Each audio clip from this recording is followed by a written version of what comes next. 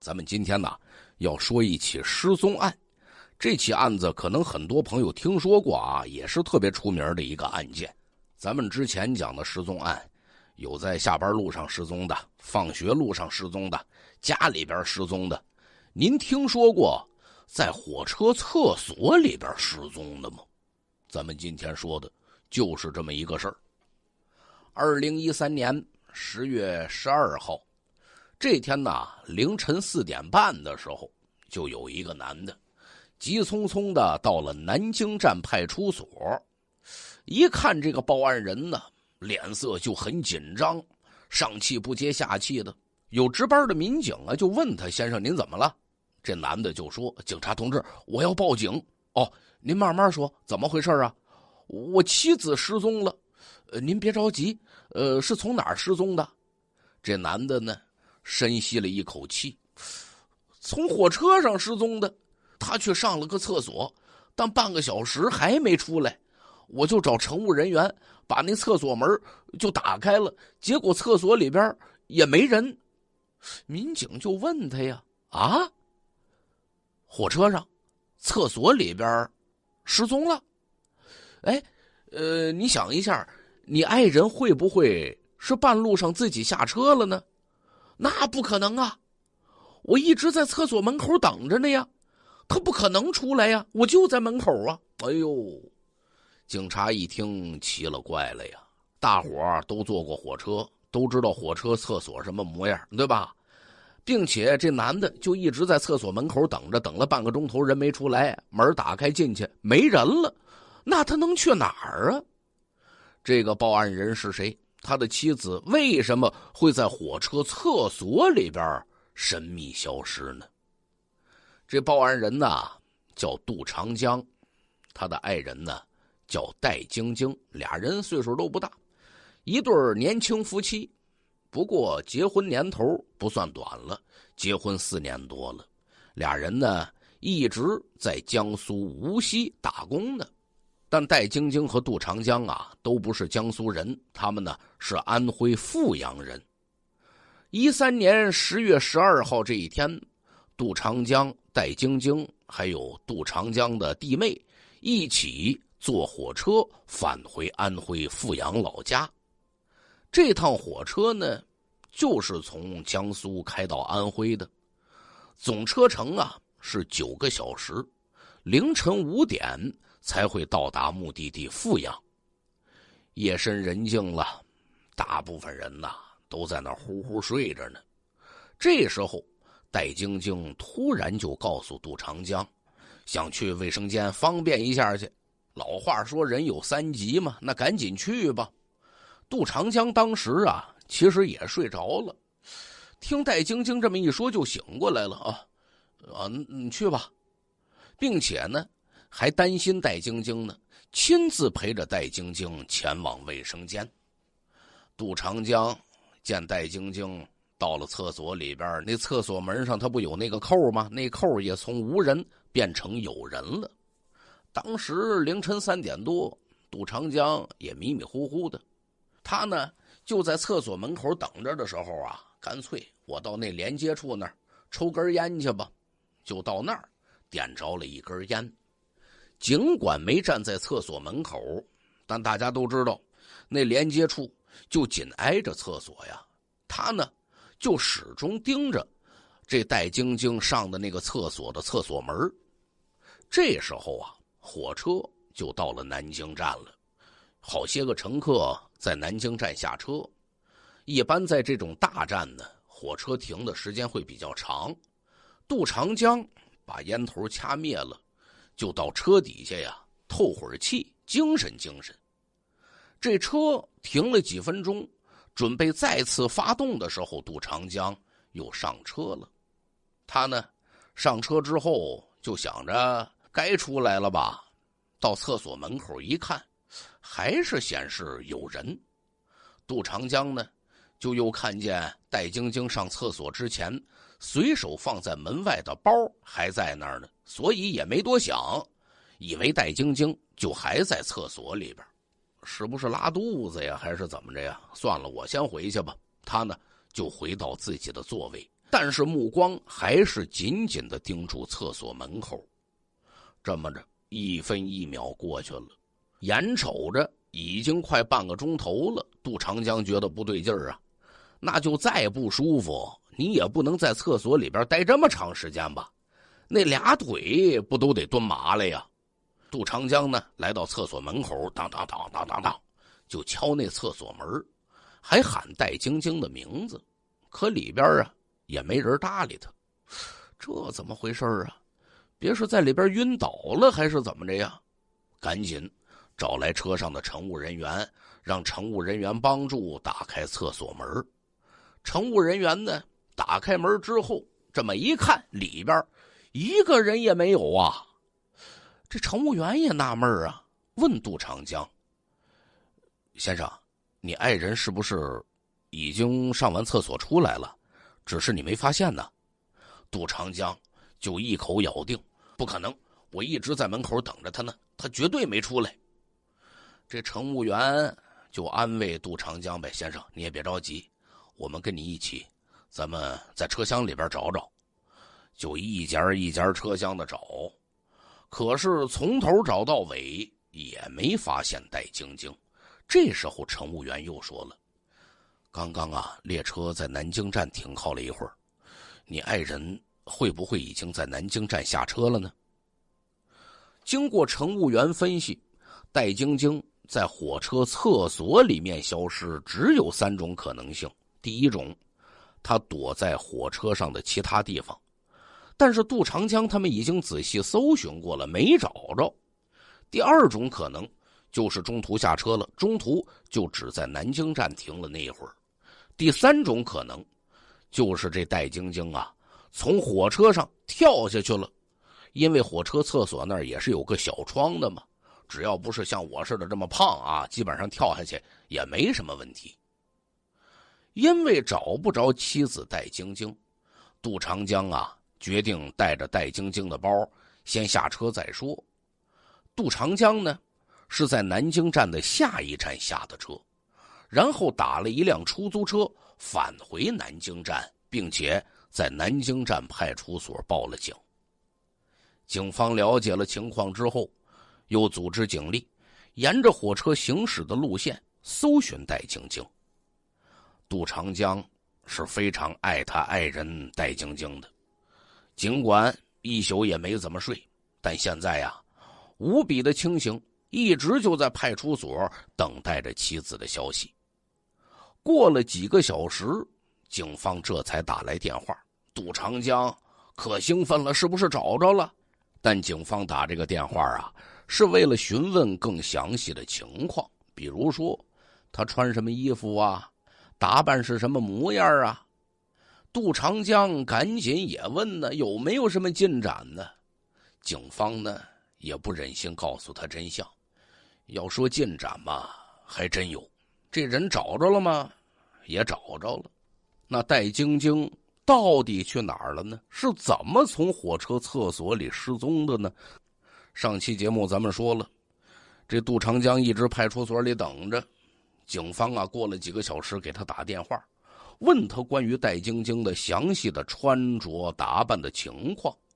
杜长江也问有没有什么进展呢？要说进展呢，也算是有。那这人找着了吗？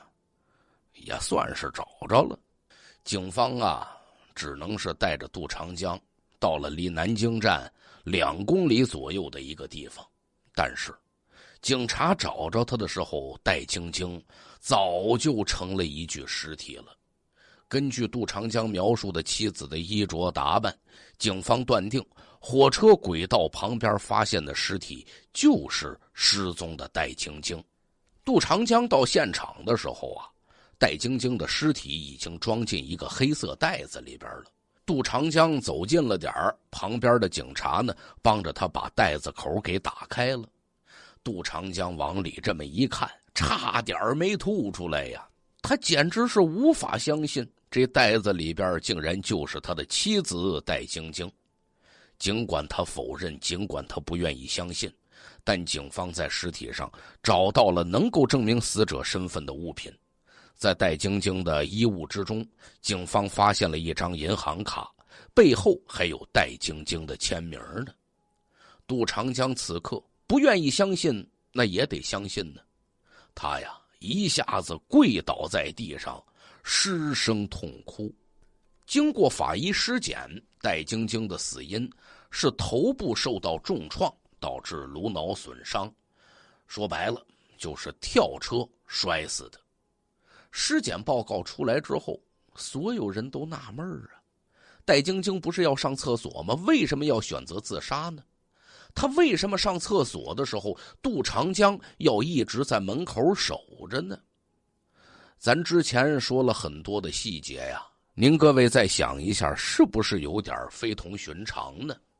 凌晨的时候，戴晶晶上厕所，杜长江守着，哪怕抽烟的时候也得盯着厕所的门哪怕再上去回到座位那儿，还是得盯住厕所的门再亲密的夫妻，哪怕是最热恋中的小情侣，一方上厕所，另一方会一直在厕所门守着吗？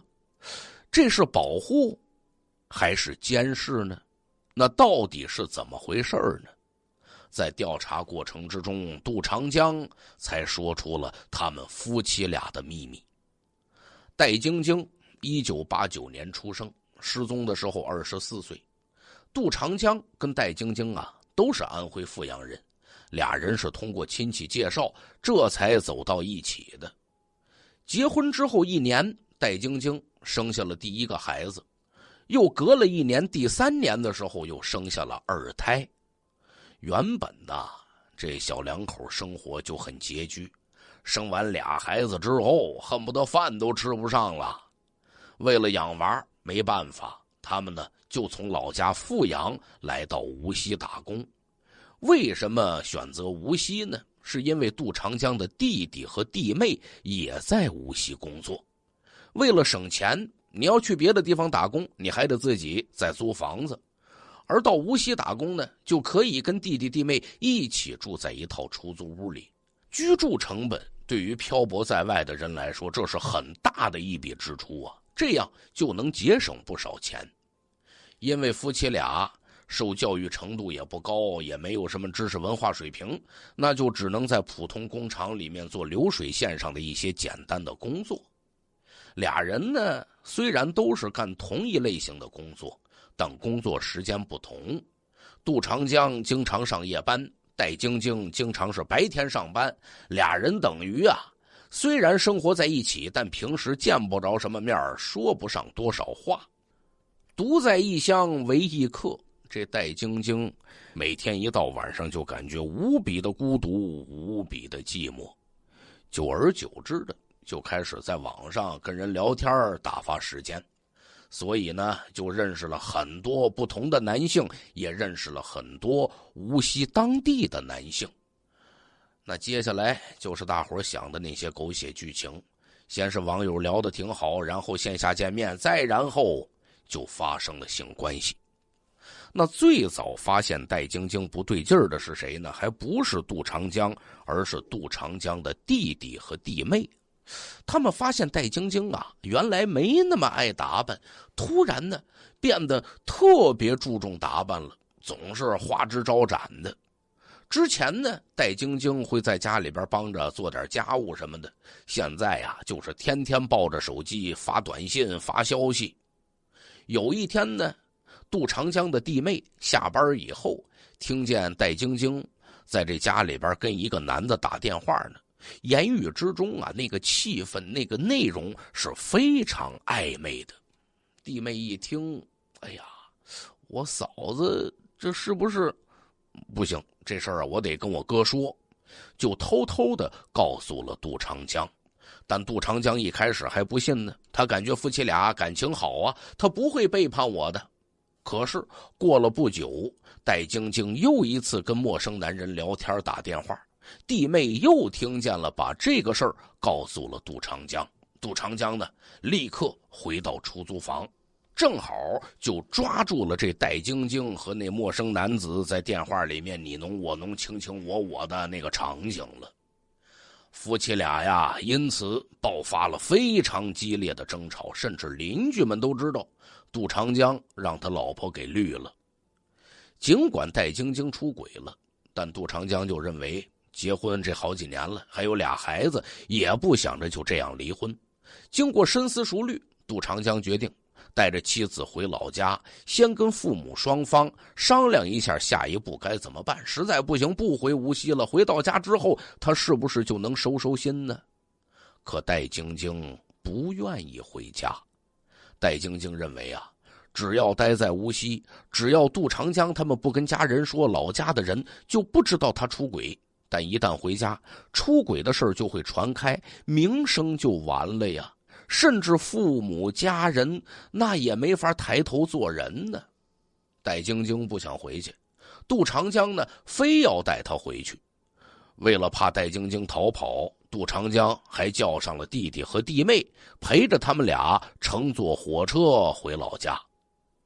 二零一三年十月十二号，杜长江、戴晶晶还有杜长江的弟妹一起坐上了回老家的火车。因为杜长江的弟弟呢，人家厂里边也有事儿。再者说了，俩大人还看不住一个人嘛。这么着，在火车上，弟妹杜长江一直盯着戴晶晶，戴晶晶好几回都在那儿苦苦的哀求弟妹，希望能放过他，让他偷着离开。弟妹当然不敢呐，杜长江肯定也不允许呀。但戴晶晶一直就没放弃逃跑的念头。直到凌晨，大家都睡觉了呀。戴晶晶觉得这是逃跑的机会，于是提出来要去上厕所。杜长江自然而然的跟着他来到了厕所门外。其实去厕所之前，戴晶晶已经计划好了跳窗逃走的方法，所以把银行卡值钱的都带上了。但他没有预料到啊，火车行驶过程之中多快呀，跳出去多危险呐！火车轨道旁边都是石头啊，戴晶晶掉下去的时候啊，头部着地，就这样，人是跑了，但命也没了。他被站街女嘲笑不行，又遭遇老婆送了顶绿帽子，一气之下变成了。公厕色魔了，疯狂捅美女，又逐渐进化，连杀十二人，制作成标本。为了逮住他，公安部派出了刑侦八虎之一的徐立民，调动二十二个乡镇的上万名村民，搞了三天围捕战斗，才把他抓获。那是吉林柳河县，因此是一战而出名，老百姓纷纷放起了鞭炮，庆祝着人渣被枪毙了呀。今天讲述的是吉林公厕色魔事件，来听故事吧。那是一九九六年二月一号，吉林省柳河县一公厕里边发生了一起惨案。药厂漂亮女工小张在上厕所的时候，遭到一个男子的袭击，速度之快，根本看不清来者是谁。小张臀部被刺得血肉模糊，一声尖叫，行凶者是夺路而逃。要说那是九十年代，公厕有的晚上连灯都没有，也没有监控，也没有目击证人，黑夜里那色魔到底是谁呢？没人知道。这厂里顿时流言四起，传得沸沸扬扬，说是哪个男的跟他交往不成，想要报复他。小张只能是自认倒霉，一时间流言蜚语使他抬不起头来了，只能每天趴着养伤。那就当人们议论制药厂美女遭袭割臀时，这柳河县的公厕不断传出色魔袭击事件，数名女性在独自上厕所时遭遇锐器划伤。唯可确定的是，这人是个中年男子，身高不高，可能不足一米七。大长脸，身手矫健，作案时总挑那些没有灯的公厕，动手时一声不吱，穿过一件黄呢子大衣。还有这事儿一传出来，一时之间，很多胆小女性不敢独自上公厕了，弄得是人心惶惶。接着，袭击事件升级了，这个色魔胆子愈发膨胀起来，不仅在公厕行凶，还会尾随女性在路上、在家门口动手，所伤害的都是年轻漂亮的姑娘，目标。从姑娘的臀部上升到腰部、胸部了，没错，哪儿肉多，他往哪儿捅啊！短短两个月时间之内，十几万人口的柳河县接二连三有十几名女性遇害，凶手作案频率之高，令人谈之色变。就这样，谢夜班的女子结伴同行，有老公有男友的骑车来接来，而警方对此依然是一无所知。说为什么呀？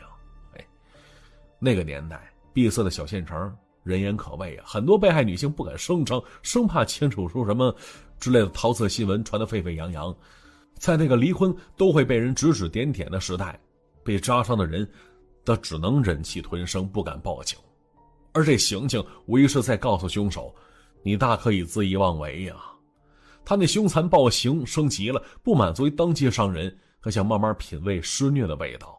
于是很快盯上了一个完美猎物：女人独居，就这些条件对大长脸来说是极致的诱惑，就像是一个地狱恶鬼推到了一盘香喷喷炖肉面前了似的。一想到自己即将大快朵颐一番，就忍不住兴奋，浑身颤抖起来。那几个月的深夜，大长脸犹如鬼魅一般出现在一处平房前，没有路灯，四处漆黑一片。经过长时间的踩点观察，大长脸对女人家里就跟自家后院一样轻车熟路了。他是悄悄摸出铁丝儿，把唯一的出口大门拧死了，防止女人逃跑。封死这个所谓的囚笼之后，猎杀时刻开始了。撬开窗户，翻身入室，呃，抓起磨得锋利的刀子，满脸狞笑着。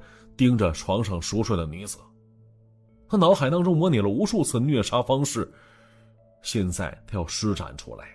他一手捂着女人的嘴，一边手起刀落，刀都狠辣。只可惜这可怜的女人从睡梦当中惊醒过来，但很快又昏死过去了。身下，那是一大片血泊呀。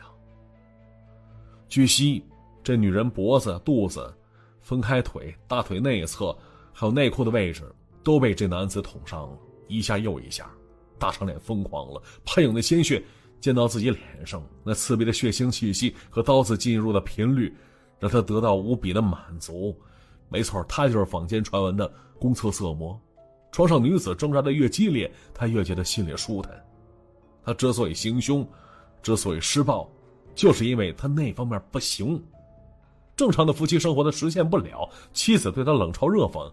去找那站街女去，那些人都嘲笑他，这让他男人的尊严掉在地上摔得粉碎，所以，想来用绝对的力量对女性进行暴力压制，才能找回那少的可怜的自尊心。就这会儿，大长脸看着昏死过去的女人，呵呵一笑，心说着：这多好啊，这多听话呀，不会嘲讽自己，更加不会嫌弃自己。就这样完事之后，这混蛋有未见的一把脸逃走了，临走之前不忘擦去那些痕迹呢。那这次杀人行为，像是打开了地狱大门似的。没过几天，他再次欲火焚身，蠢蠢欲动。而但凡他盯上的女子，没有一个不被拿下的。这些女人都是他精挑细选的，要模样有模样，有身材有身材，比起他那张长相普通的悍妇老婆，有滋味多了呀。就在外边一边行着凶。大长脸一边想着：“臭娘们还敢嫌弃老子？外边这些女的可随便老子挑。”但他也就这么想一想，一回到家里，面对自己的媳妇儿，立刻换了个人似的，像是鹌鹑似的怂的不行。对他来说，越是在家里得不到尊重，大长脸作案频率就越高，手段越凶残。半个月之内，连续闯入数家，疯狂作案，残害了五名女性。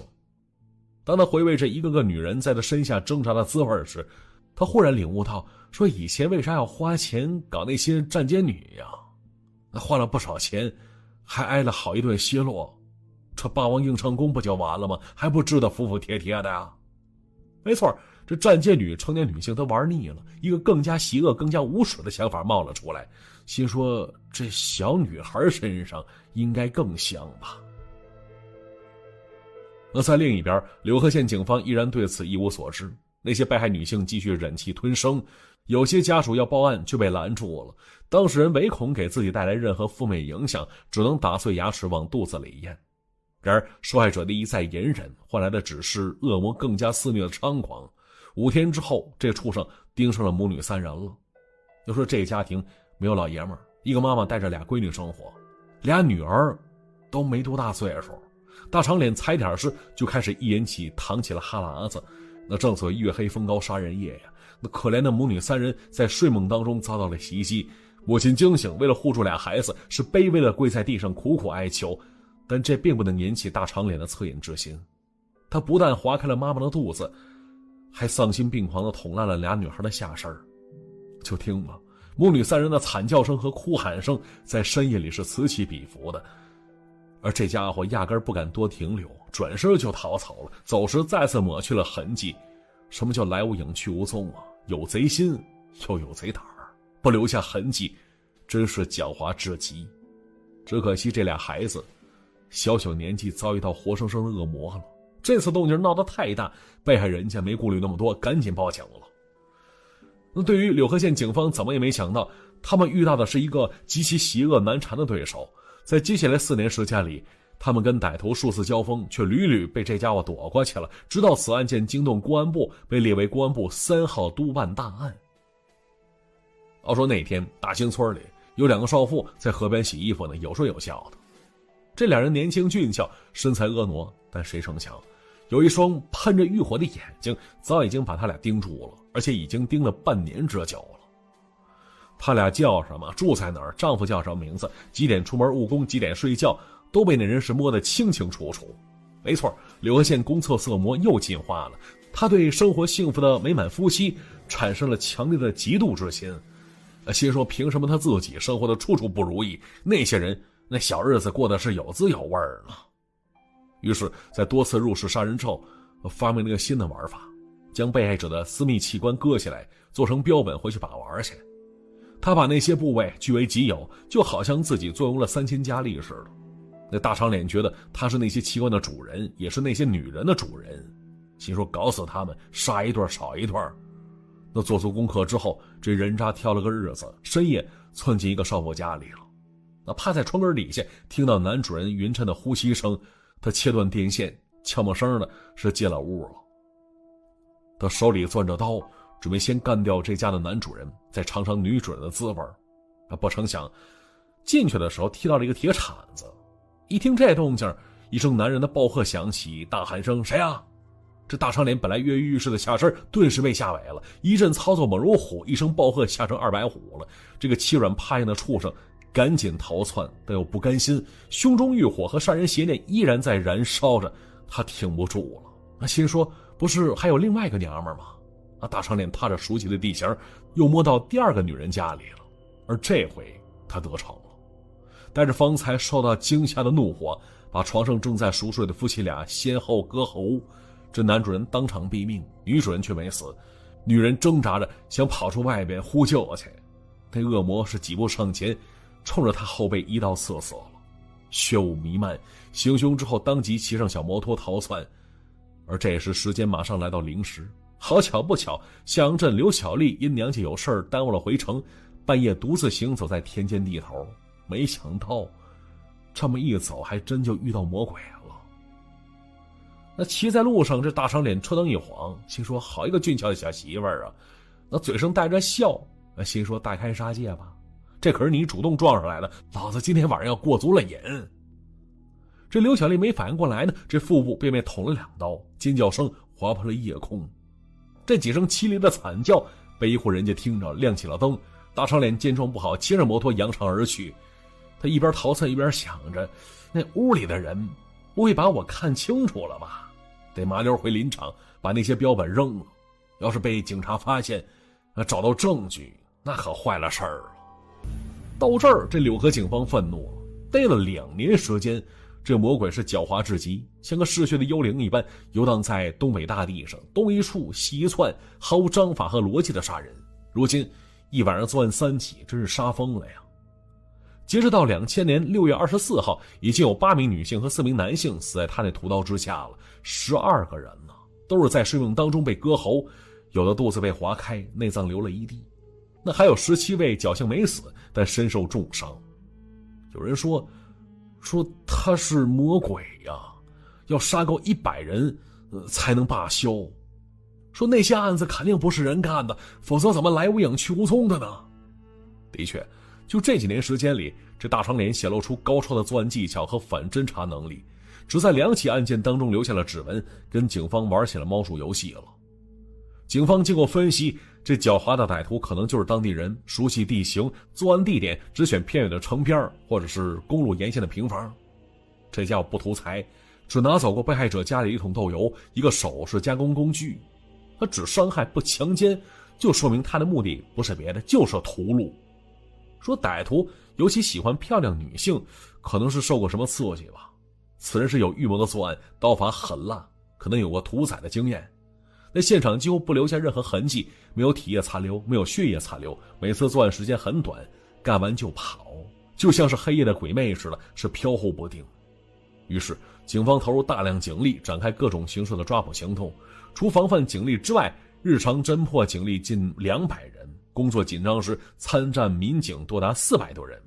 什么撒下特型耳目、巡逻布控、化妆侦查、蹲坑守候、控制重点区域，但这一系列操作都没用啊，全都被那家伙完美避开了。要说案件久侦不破，公安部震惊了。不破此案誓不罢休。此案件被列为两千年公安部三号督办大案。更高级别的专案组成立了，省公安厅厅长亲自带队，把省厅刑侦专家全都调来，跟一线民警一起研究案情。啊，结果猜怎么着？这恶魔在如此严防死守之下，依然不知收敛，再次伸出了魔爪了。说是两周之后，又有被害人出现了。当警方为了凶案忙得不可开交之际，那躲在暗处是轻蔑一笑。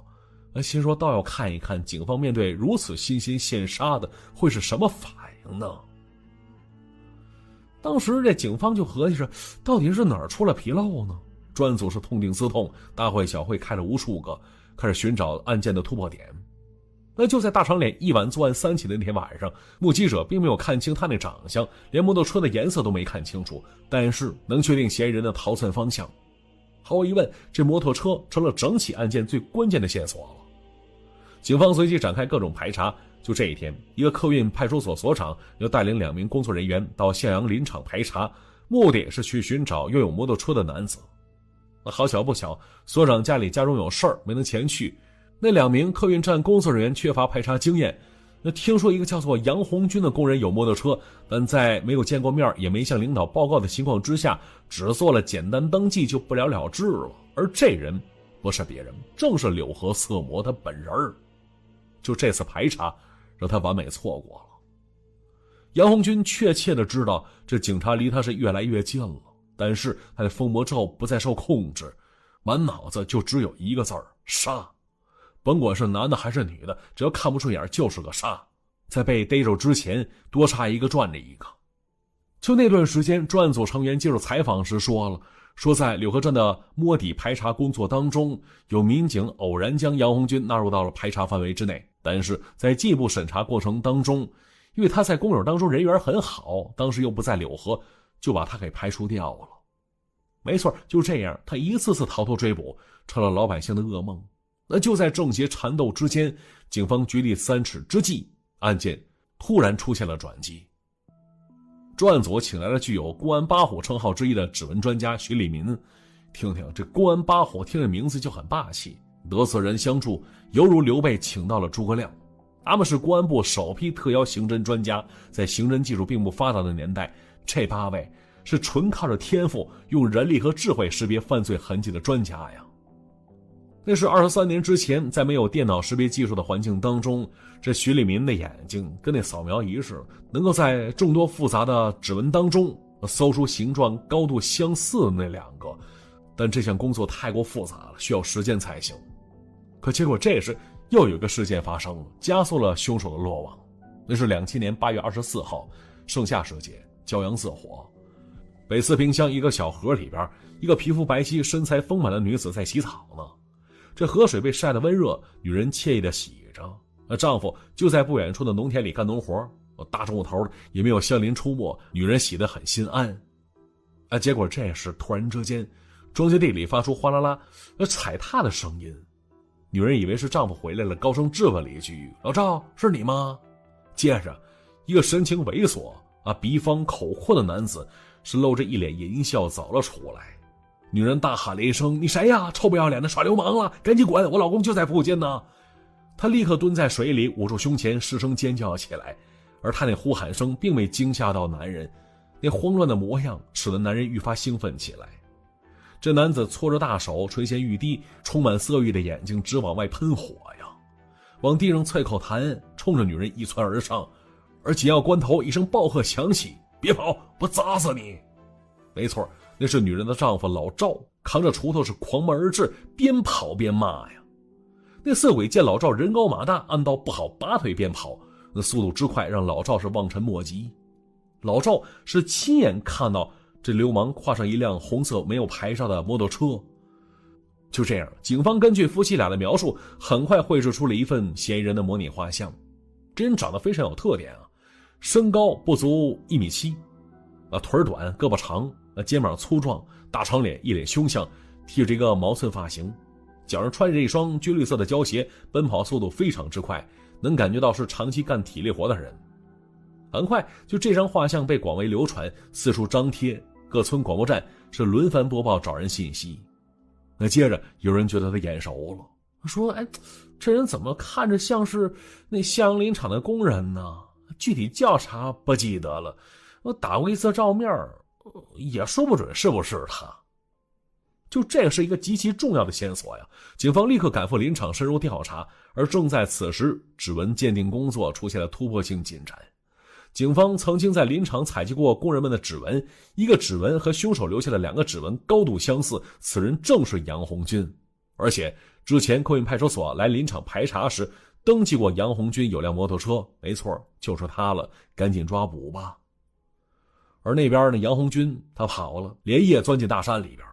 自打那天被老赵夫妻俩看清楚样貌之后，他没能杀死他俩，他就觉得这事儿肯定得出事儿，啊，果然他再也跑不掉了。警方以大兵压境之势投入到抓捕当中，调动一千多名警力，在周围地区进行周密的布控，切断了杨红军一切有可能的逃跑路线，锁定他藏身方位之后，又组织警力搜山搜捕，呃，荷枪实弹，警犬追踪，狙击手出动。此时，那正是林中枝叶繁茂的时候啊，山多林密，茫茫林海当中搜找一个人，必须打围捕战才行。而那杨红军对山地地块是非常熟悉。有常年在林中作业的技能和生存本领，想在林子里待上十天半个月绝对不是难事儿。而这时，柳河县委县政府在县直各机关和全县二十二个乡镇层层发动群众一起加入到战斗当中，竟然有上万名热血群众扛着锄头，带着铁锨，是挥舞着棍棒，立刻赶了过来，啊，创造了警民联手对付犯罪分子的典范了。都说着不用动员，咱们就是守上一个月不务农，也把这畜生给救出来。那边也喊呢，没错，绝对不能让这兔崽子活着走出东北。民众们愤怒了，就因为这个人，多少孩子失去了父母，多少老人没了子女呀，还有那些无辜的孩童，即将要结婚的年轻姑娘，都因为他被毁了。这辽阔的黑土地，他们不敢相信，竟然养出了这么个畜生。所有人摩拳擦掌，势必把这个变态绳之以法。但是啊，咱得说这杨红军，够厉害的呀。万人搜捕当中，整整躲了三天之久，但是再久，他也插翅难飞呀。上万人昼夜不休的地毯式搜索，连一只动物都逃不过，终于把他揪出来了。杨红军被抓时，衣服被刮的四处都是口子，满脸滋泥，是蓬头垢面的。许多大老爷们看到他真身之后，是啧啧称奇，说什么狗屁杀人呢？那只是个其貌不扬的小个子，就这种货色啊，走大街上，任谁都不会相信。是建国以来柳河最凶悍的悍匪，但铁证面前，这人渣罪无可赦，祸害一方多年的杀人色魔终于落网了。要说一个普通工人为何会如此丧心病狂，犯下滔天罪行呢？在警方审讯之下，这恶魔的过去被揭开了。杨红军，一九六四年生人，出生在一个普通农村家庭，母亲是一个朴实无华、老实巴交的农村妇女。父亲是一个有着精湛手艺的伐木工人，吃苦耐劳，做事勤快。那六七十年代，他们家生活虽然谈不上衣食无忧吧，但也没让杨红军吃过苦啊。别人家孩子有的他都有，但不知为什么，杨红军从小光吃不长个儿。那在男女身高超平均线的东北地区，打小发育不良时又瘦又小，同龄孩子不愿意带他玩，各种打仗游戏里，他总是那个被按在地上摩擦那一位。因此，那变得孤僻起来，不爱跟人接触了。渐渐，他是越来越自卑。在青春期时期，啊，传统老派的父母没有给他一定的生理方面的指引，再加上也没有同伴之间的分享，那在男女方面的心态逐渐变得扭曲了。那是十三岁那年，杨红军开始暗地里偷偷打量那些女人，面对女性丰满的胸部、臀部，他总是不自觉的可劲儿瞅。而那些面容姣好、刚刚发育的女同学，身材丰满的婶子、大姨，都成了他一言对象了。那杨红军发现自己的欲望很强烈，他开始渴望起女人来，啊，从偷瞄变成偷窥。为了能近距离看到女性衣服底下的隐私部位，他跑到女厕所后边偷窥去。公厕砖墙的缝隙里，杨红军看到了各种令他激动万分的刺激画面。小小年纪迷上了偷窥了，哪能不出事儿呢？很快被逮着抓上了现行。就那天，他那张脸刚贴到女厕所后墙，就立刻被早就埋伏好的两个壮汉给逮着了。这两人的老婆都曾经被偷窥过，感到非常气愤，早就想把臭流氓逮着了。没想到一看之下，哎呦，还是个孩子！杨红军当场被一顿暴揍。两男子拉扯着他一路骂骂咧咧来到杨家。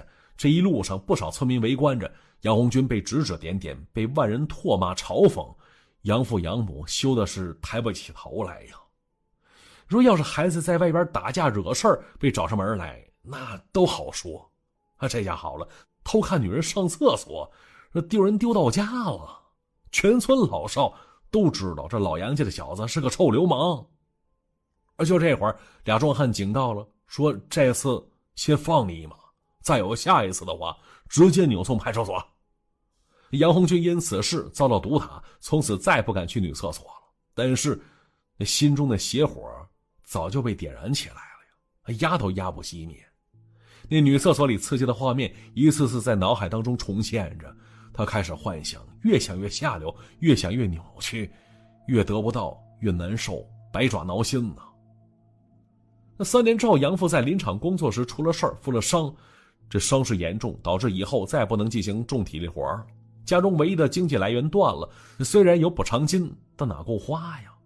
十六岁的杨红军顶了父亲的班成了一名年轻的伐木工。在工作的时候，这杨红军倒是很卖力气，还得过积极分子的称号呢。但是，他有个很大的遗憾，就成年之后再也没有长高过，身高永远停在了一米六几。就这身高，哎，在周围看起来。哎就有点不显眼了，被叫做小矬子、二等残废，让他愈发自卑起来，找对象都费劲。那好在他有个铁饭碗呢。二十二岁时，在家人介绍之下，一个林场姑娘跟他结了婚。那杨红军看不上他老婆，觉得老婆长得丑，没有女人味儿。但是他成家之后就不用幻想了能在床上寻找一下男子气概了呀。一年之后，他俩人生了孩子。那倘若他能像个正常人一般是安稳度日，一切恶行都不会发生了。但坏就坏在，这家伙学会了打麻将，学会了喝酒，牌桌上男人荤段子连篇的。他知道什么叫毛片什么叫变态，从此是一发不可收拾。他看了大量国外成人录像带，里边那画面，跟他小时候偷窥女厕所后的幻想是一模一样。杨红军心里那团邪火就此烧了起来。变着法的要求老婆过不一样的夫妻生活，配合他搞各种造型。但是，咱得说那老婆是个朴实的人，经不起他这番折腾，两人睡不到一起去了。而杨红军呢，越看变态的内容越难受，从老婆身上得不到满足，就出去花钱找服务去，把那变态的施虐欲通通用在了站街女身上。那暴力的手段让他找到了做男人的自信了。可没过多久，他遭遇了一次仙人跳。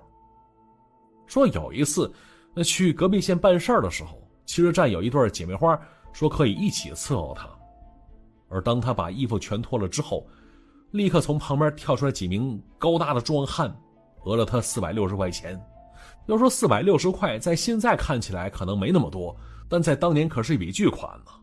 杨红军不抽不喝半年时间才能攒下来这些钱，那吃了暗亏不敢报警，只能暗自生气。他不但没收手，还变本加厉继续找小姐。常言道：“常在河边走，哪有不湿鞋的呀？”嫖多了，自然就染上病了。那是一九九五年底，杨红军觉得下边不舒服，在老婆的督促之下，两人去了趟医院做了检查。不出所料，他那病那就是被占军女给传上的。得知此情况，这老婆对他是破口大骂。老婆娘家人更是对他是嫌弃、鄙视、唾骂，这让杨红军抬不起头来，也无力反驳了。黄赌毒要说一旦染上，压根就停不下来。这杨红军欲望再起来，这老婆不肯搭理他了。一怒之下，他起了报复的念头，想把病传染给站街女们去，心说那些臭娘们看不起我，老子给你们点颜色瞧瞧。就那天，杨红军到美发店找了个小姐，想发泄一番，顺便传播疾病。没想到，就那天他被嘲讽了。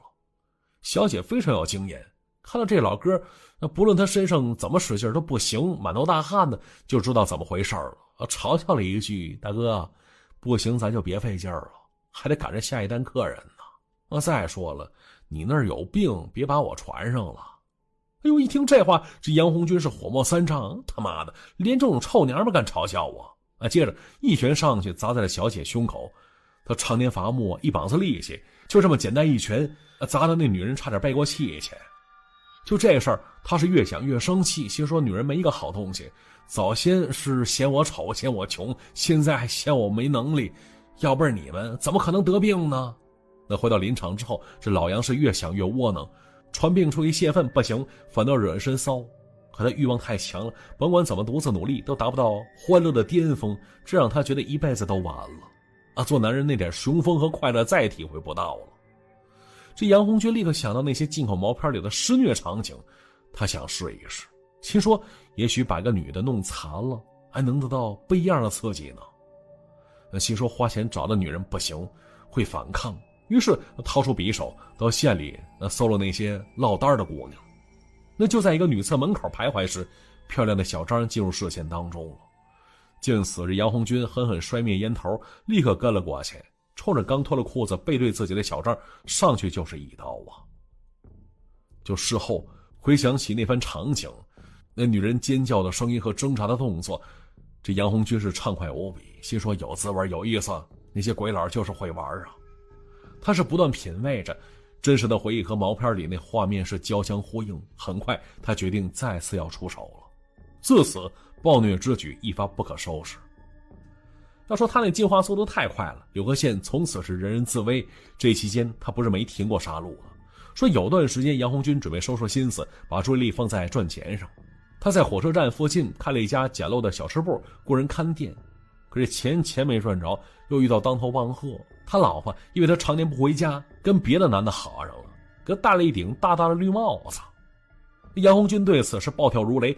跟老婆结婚整十年之久，这女人不但没能满足自己的变态的夫妻生活，非常抗拒跟着毛片学又掐又拧的，哎，还曾在两年之前逮住他跟别的女人有染。更可气的是，他老婆连同娘家人是把他得病的事儿。拿出来说事儿，好好羞辱他一番，并且毫无避讳的是跟村里邻居说了一番。哎呦，说的那个起劲呢！如今新仇加旧恨，杨红军癫狂了，要狠狠报复女人。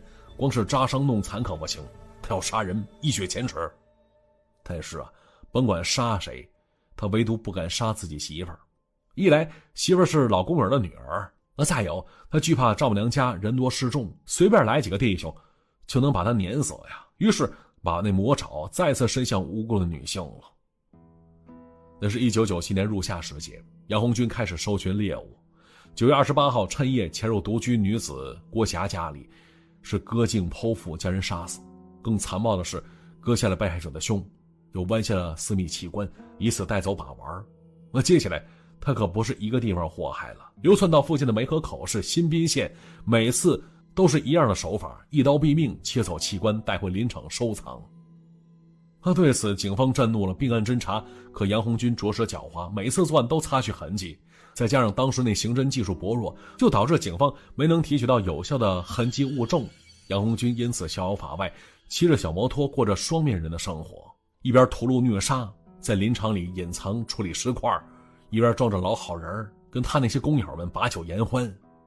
转眼间到了冬天了。东北那林场冰冷刺骨，形成一个天然的大冰箱，掩盖了肉块的腐烂速度。杨红军对猎物越来越挑剔，不漂亮的不杀，没韵味的不碰。越看良家女子，越觉得自己曾经碰过的那些风尘女子是多么恶心。因为他还在外边开着小吃部，伐木工作又不是按部就班上班打卡，老婆孩子又不在身边，所以没人发现杨红军行踪不对劲儿。他把这个杀戮游戏真的给玩上瘾了。当成平凡生活的消遣，寻找刺激的乐子了。他拿尖刀是捅刺着，宣泄着愤怒，一个个无辜女子成了他施虐泄愤的对象，把自身原因造成的不如意、不满转化成对别人的伤害，这就是他报复生活、报复社会的手段。再后来，他见没惊动警察，胆子越来越大了。看到哪家女子漂亮，哪个家庭幸福，他就觉得不顺眼儿。那害人手段他是逐渐升级，还每一次都能得手，这让他非常膨胀。到后来，只要想杀人了，就得当天弄死一个，否则不算完。一直到越来越变态，割下私密器官做标本把玩说有一次作案回来，他对着打麻将的众人高喊着说：“杀人犯回来了。”但就这声喊，没人搭理他，都以为他喝多了开玩笑呢。就抱着一种侥幸心态，杨红军继续做着案子，瘾是越来越重。只要不作案，少了那种刺激，他就觉得浑身难受。他也不是没想过收手。那是一九九九年下半年，单位分了房子，得到一套两室一厅的房子，住着高楼，看着孩子逐渐长大，也想着收收心思，好好过日子。但是呢，就像许多连环奸杀案件的凶手一样，一旦尝到了血腥的滋味，就再也停不下来了。那是两千零一年四月八号，恶贯满盈的杨红军被枪毙了。柳河县百姓自发的在街头燃放起鞭炮，驱瘟神得平安呐。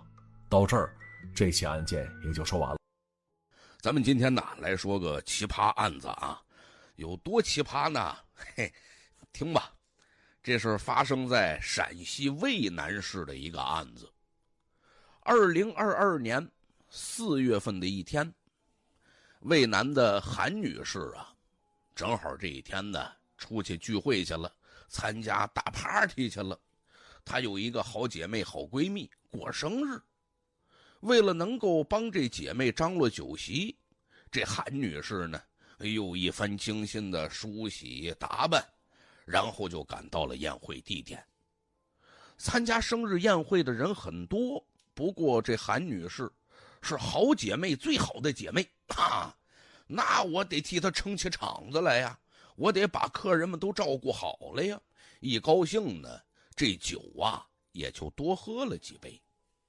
等这宴会结束的时候，已经大半夜了。韩女士着急忙慌的，赶紧回家吧，太晚了。可是，一到家门口啊，哎呦，不对呀！我在离开家的时候，明明是锁了门的呀，怎么现在这门开着呢？您各位说了，那会不会是家人啊把门打开进去，忘了关门了？不会，因为啊。这韩女士离婚了。自从跟老公离婚之后，锁芯也换了，家里边的钥匙只有韩女士一个人有，所以这门一定不是自己认识的人打开的，很可能是有小偷啊，遭了贼了呀！韩女士害怕呀，这怎么办呢？为了以防万一呀，这韩女士呢，就到了地下室。找了一根绳子，然后这才进了家门。您各位该说了，遇到这时候报警啊，实在不行跑啊，你还敢进家门？一介弱女子啊！哎呦，这韩女士可不弱啊！这韩女士之前学过好些年的散打，你要是来个一般的大小伙子啊，哪怕稍微人高马大点你真不一定是韩女士的对手。再加上韩女士这喝了酒了呀，胆子也大呀，拿着绳子悄悄的可就进了房间了。但这里边黑灯瞎火的，也看不清楚啊，这怎么回事啊？啊，到底这贼在哪儿啊？其实韩女士心里边啊也有点打鼓。韩女士还记得离开家的时候，走的呢挺着急的。不是精心梳洗打扮了一番吗？包括戴的项链、耳环、手镯子啊，都摊到了桌上。那么这些东西呢，走的时候都没收。现在韩女士更紧张了呀！我这么多值钱玩意儿，别让小偷偷走了呀！本来呢，韩女士琢磨着，当时要没找着小偷位置在哪儿，先看一下。监控录像吧，确定一下他的位置吧。没准这小偷已经偷完走了呢。还没等看监控呢，这时候突然呐，就听到一声急促的呼吸声，是从自己卧室方向传过来的。韩女士一听，行了，你就在这儿了。”悄悄的，手里边拿着绳子，朝着自个儿卧室就走过去了。走到卧室门口，这么一看，嘿，有一男的正在那儿翻箱倒柜呢。小偷啊，看那意思，可能也是生手，偷的时候注意力太集中了。哎呦喂，这么多衣服啊！哎呦喂，这么多鞋子呀！哎呦喂，这么多好东西啊！他这注意力一集中啊，根本就没注意到韩女士的靠近。也是，他之前进去这么晚了，家里黑灯瞎火没人，就想着。也许啊，这家主人去哪儿了？今天晚上回不来了。这小偷偷的也差不多了，刚想着缓口气，准备准备走吧。这韩女士啊，直接上去拿绳子，三下五除二，咔就给他捆上了。这小偷还在那挣扎呢，挣扎的时候，韩女士叹了口气：“唉，你胆子也太大了。”竟然敢偷老娘的东西，这可把小偷给吓坏了。哎呦我的妈，见鬼了！是啊，大晚上的黑灯瞎火，莫名其妙被人捆上了，直接还叹口气啊！人哪来的呀？还没反应过来呢，别忘了韩女士身手了得呀，哐当一下把他胳膊给就。把他胳膊就反拧住了，摁到了地上。这小偷可就动弹不了了。这小偷啊，身子骨确实也比较弱。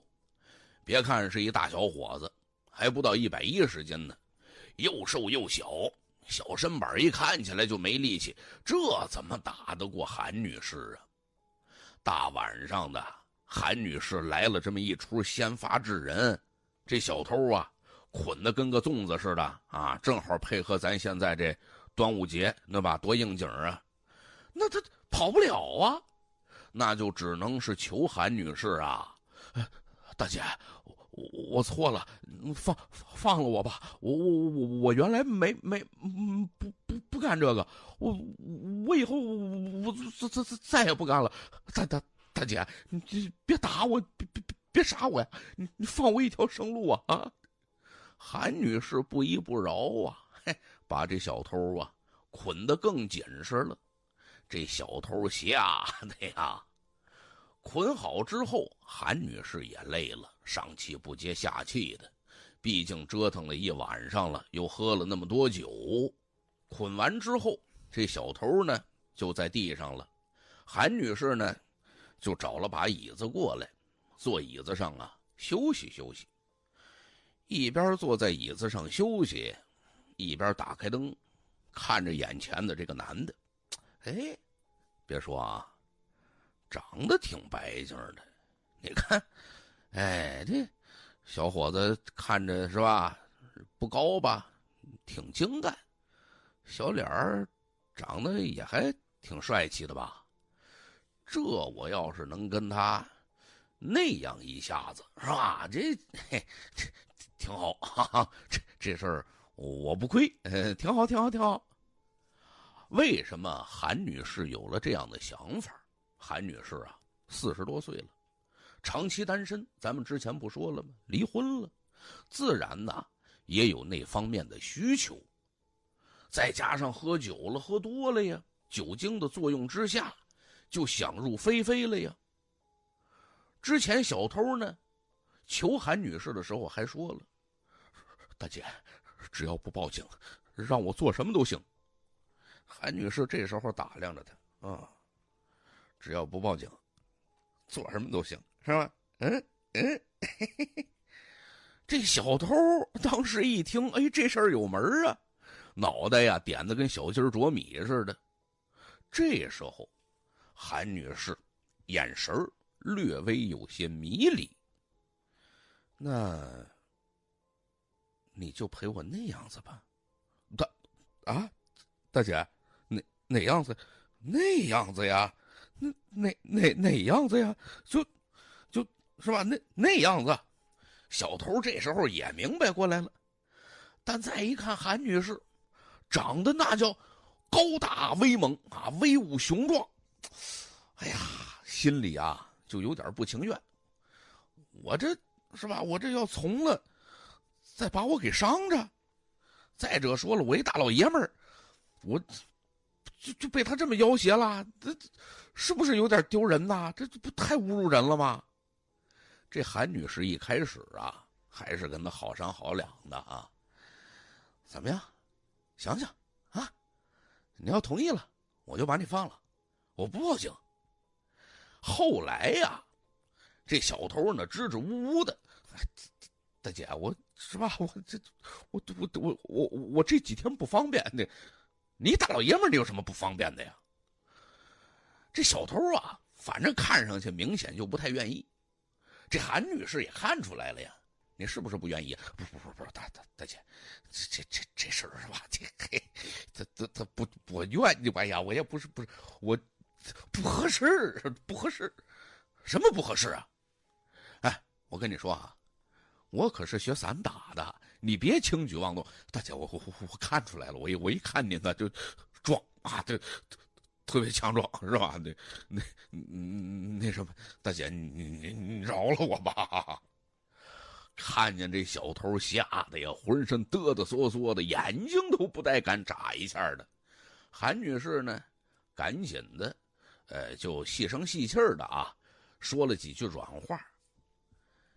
小伙子，也不是姐姐有意的要凶你，你有什么难处？你都可以告诉姐姐呀，啊，只要有姐姐我在呢，包你满意。哎呦，这小偷脑子里边都乱了，知道吧？一片空白呀。虽然我是小偷吧，但我也是个人呐，啊，人都是有尊严的呀。我我得顾全我的尊严呐。接下来这几分钟啊，小偷呢就不停的反抗。大大大大姐不行，这都住手！住手！先先别动，大姐，等等等等会儿。韩大姐啊，跟这小偷，哎呦，这是动之以情，晓之以理啊，就在那儿试图说服小偷。小偷啊，当时都急了，大大大大大姐，别动，别动，别动！哦，我可可可别这样。这韩女士一看，这人怎么这样呢？怎么这么不痛快呢？这家伙可就不留情了，抄起来拳头。一拳拳的，可就打在小偷身上了。别忘了，大姐练散打的，练家子，手狠着呢。给这小偷打的呀，跟踩过似的呀，疼的呀！哎呦，大姐，别别别别别打了！你说了，你学散打的，我我我我普通人，对吧？一介凡夫俗子，我我受不了这个。韩女士一看，行啊，让我不打你可以。那你还想跑吗？我我不不不跑，大姐，我我不跑，我我在这陪着您啊。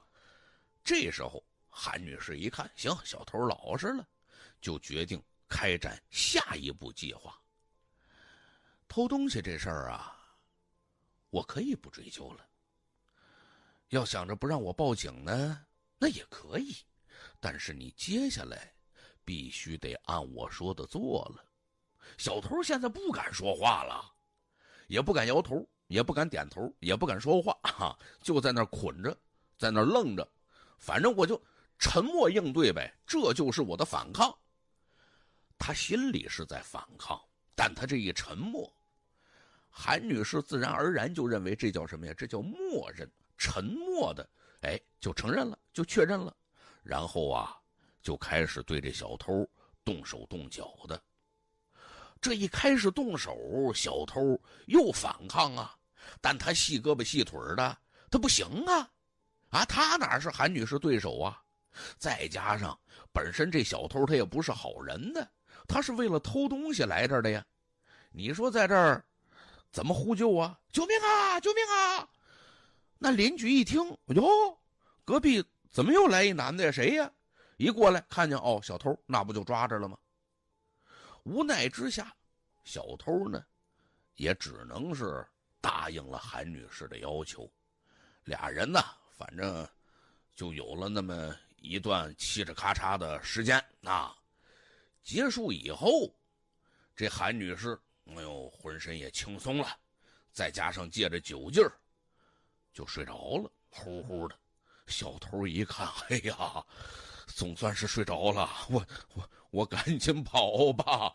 刚想着跑啊啊，还在那儿捏呆呆发愣，想着该怎么轻手轻脚跑的时候，韩女士咵一翻身给这小偷吓，哎哎，大姐，再一看，哦，就翻了个身还打呼噜呢。行行行行行，他呢，就怕这韩女士再醒过来，再提这要求，我我无福消受啊，我。不行，我接受不了，吓得呀，赶紧穿好衣服啊，三坐并作两步，踉踉跄跄的就离开韩女士家了。逃出来之后，这小偷想着，心里一肚子委屈呀。大晚上的，我也不睡觉，加班加点儿，说偷点东西，到他们家好东西还那么多，东西还没拿走了，现在一件也没有，反而是吧？这我。我我都不干净了，我哈哈。韩女士呢？其实啊，在这小偷着急忙慌跑的时候，也听见他脚步声了。反正心里边想着走就走吧，啊，这事儿就过去了。反正我也没亏，对吧？东西也没丢啊，这人也算是让我给是吧征服了。嗯，就这样被你征服，哎，征服了。可是从韩女士家离开之后，这小偷回家里，他越想越气呀！我一大老爷们儿，啊，我这么让人占了便宜了，这要让我哥们儿们知道了，我这脸往哪儿搁呀？为了出口恶气，这小偷决定，我一定要让他接受法律的制裁，我要拿起法律武器维护我的合法权益。哎呀，现在想起来维护合法权益了。你当小偷自己违法犯罪的时候，怎么不想想呢？这小偷啊，还没来得及洗漱呢，直奔派出所报案去了。一进门，还没等民警接待他呢，有人吗？我要报案。这时候有民警出来了。哦，先生，什么事儿啊？啊，您报案，呃，具体发生什么了？跟我们说说。我是小偷。嘿。真坦诚啊！民警平时一看，接到这样的报案很少哈。要是普天之下所有的违法犯罪分子都来派出所报案，我要报案啊！我我我犯罪了，那多好啊！警方一听，这哪是报案呢？你你先生，你可能措辞有有有一些小小的失误啊。也许您这不叫报案，我们这儿呢还有另一种说法。您这可能叫自首哦，不，不是自首，我是报案，呃，我是小偷啊，这这这一部分我算是自首，但是，我被人侵犯了，我哎呀，我那我我刚才那自首啊，那都是捎带脚的啊，我承认，我昨天晚上去人别家里边偷东西去了，可可可可。那个大姐呀，她她竟然趁机她侵犯我呀，她欺负我呀，我太过分了，我我不干净了。于是他把前一天晚上的一五一十的经过都告诉警察了。警察听完之后，呵，还有这事儿？嚯，那既然人报案了，咱得接警啊！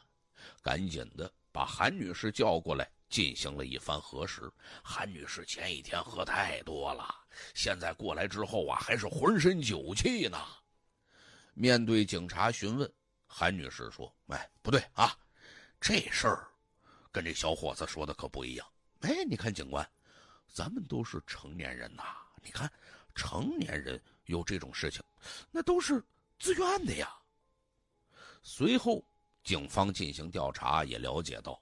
韩女士呢，几年之前就跟丈夫离婚了，一直单身生活，时间久了呀，难免的会有点寂寞。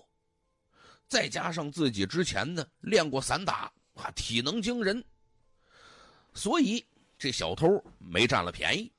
对于小偷说的这韩女士强行侵犯他这个事儿，韩女士那是一百个不认，不可能啊，我绝对不认。那我我们就是自愿的。小偷旁边听完之后，这个气呀！哎，我说大姐，你你不能是吧？你欺负完人，你到现在了，你你还侮辱人啊？你把人当傻子，那那不行！你这叫得了便宜还卖乖呀！哎，警察同志，我之所以去大姐家里边，不是因为我我是专业小偷，我我没那么专业，我就最近手头有点紧。我进门之后，我一看，好家伙，金银珠宝把桌子都摆满了。我想着赶紧捞一把就走人，结果哪知道我这还没走呢，他一下拿绳子把我给捆上了，还还把我给那样了，太过分了！我希望你们人民公安能够替我讨回一个公道。